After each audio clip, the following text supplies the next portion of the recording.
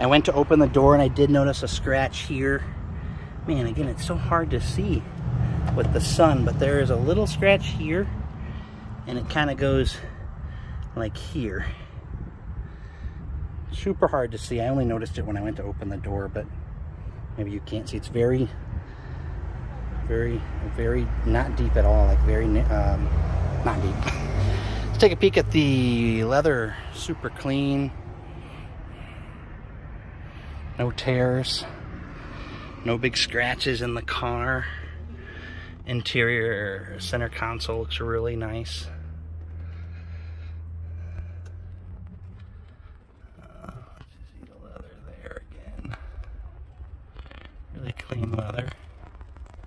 No tears. Let's do the back seat too.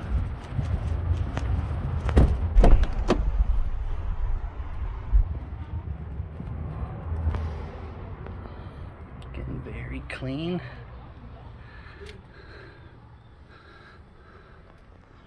Really good shape. All right.